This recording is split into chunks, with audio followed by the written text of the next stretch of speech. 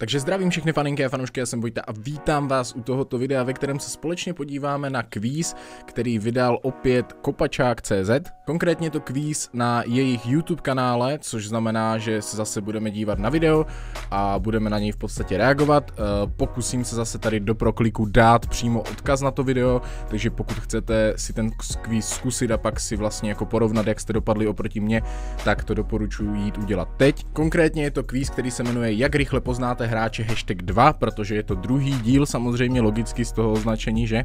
Já jsem tento kvíz už v podstatě jednou absolvoval, právě tu původní verzi. Uh, funguje to tak, že v tomhle kvíze se vám postupně vykresluje podobizna nějakého hráče a vaším úkolem je si zastavit video uh, v čase nebo v odpočtu, kolik má, jaké máte číslo, myslím, že z 10, tak to si zapsat jako počet bodů a následně pokračovat v tom kvízu. Budu vždycky tady do komentáře si psát skóre, stejně jako to tady napsal někdo přede mnou. A jo, pustíme se do toho. Na začátek ještě samozřejmě, pokud nemáte na tomto kanále odběr, tak ho nezapomeňte dole zmáčknout, dát tlačítko palce nahoru, pokud se vám tohle video bude líbit. A už to nebudu protahovat, pojďme na ten kvíz. Tak, myslím, že tam nebyly zvuky původně, že přidali zvuky do intra, což se mi líbí, protože předtím to bylo takové zvláštní, když jste to video zapli. Dokonce přidali anglické titulky, které já si teda s dovolením vypnu, ale je to fajn, takže půjdeme si přečíst teda tenhle ten základ, stopnu si to. Postupně se bude vykreslovat 15 hráčů, když hráče poznáte, zastavte si video mezerníkem kliknutím na video a řekněte si jeho jméno.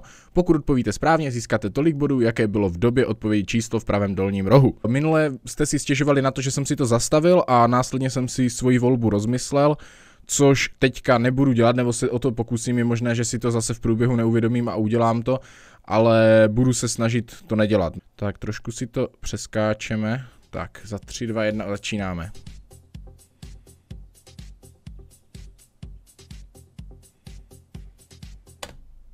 Myslím si, že je to Hummels. Zastavil jsem to těsně před, před tím, než to přeskočí na trojku, takže zapisu čtverku a jdem se dokoukat, jestli je to Hummels. Jap, to musí být Hummels. Nice, takže hnedka ze začátku máme 4 bodíky z 5, což je fajn. Myslím, že minule to bylo až na 10 bodů. Tak teď jsem zvědav, co bude tohle. Ederson, tohle je určitě Ederson. Tohle nemám problém poznat, takže zapisuju si 4 body, že to, protože tady tohle určitě bude Ederson, tady jsem si téměř na 100% jistý. Jo, určitě. A moc se mi líbí to vykreslování, působí to fakt pěkně. Jako strašně originální věc, už jsem to říkal u toho minulého kvízu, nic takového jsem ještě neviděl. Tak toto je Suarez, tady nemusím uvažovat, ten chrup, ten mě naprosto dostal a naprosto jasně vím, že to je on, takže tohle bude za pět bodů, tohle musí být Suarez, kdybych nechtěl. Samozřejmě je to Luizík, On to asi udělal tak, že vlastně původně asi bylo 10 sekund a za každou sekundu byl bod. Teď je to tak, že je vlastně za dvě sekundy jeden bod, když to zvládnete uhodnout. Ty vole, tak to už vím, Kante. Kante to je.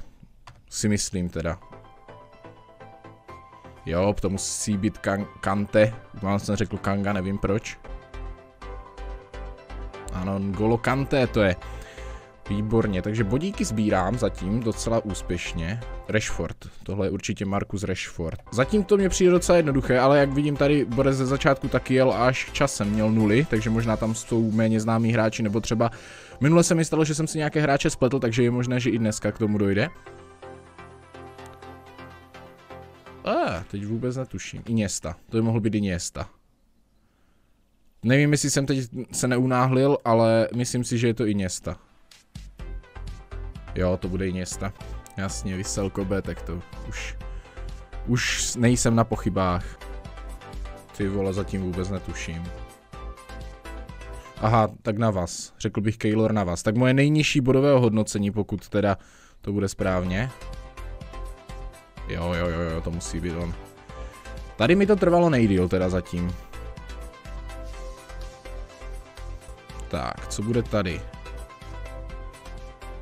A, Bale? Teď jsem se možná unáhlil úplně, ale řekl bych, že to je Geret. Tak doufám, že jsem se trefil. Ne, tak to není Geret. To je Pjanič. Tak nic, tak první nula. První nula pro mě, no, bohužel. Kdybych počkal jenom o ani ne vteřinu díl, ani tu vteřinu jsem nepotřeboval, už bych to věděl. I kardy bych řekl, ne. Kdo to je? Možná, počkej, jsem to chtěl zastavit. To by mohl být Timo Werner, ale nejsem si tím vůbec jistý, takže tři body teoreticky. Jo, je to Werner. Je to Werner.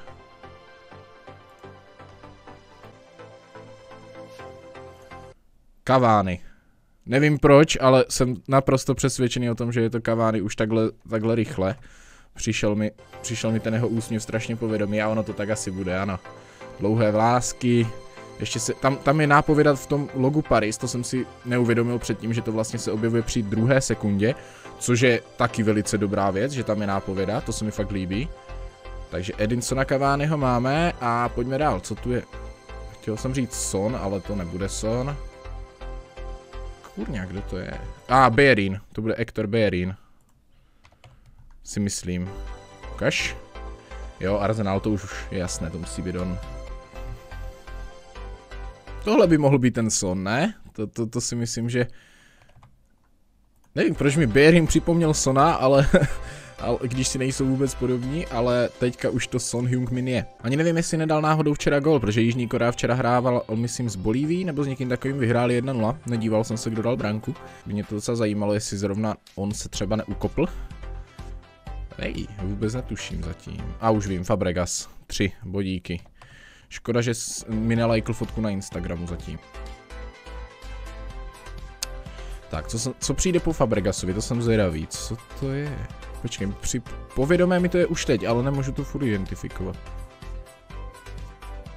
Jo, to je Vardy. To je Vardy. Mhm. Tak to mi mohlo dojít dřív. Ale já jsem furt tam, furt jsem tam viděl taky za z toho Bejla, ale nevím proč, možná jenom čistě kvůli tomu účesu, jakože by to byla nějaká starší fotka, kdy ještě neměl dlouhé vlasy. Kůrník, taky nemůžu se...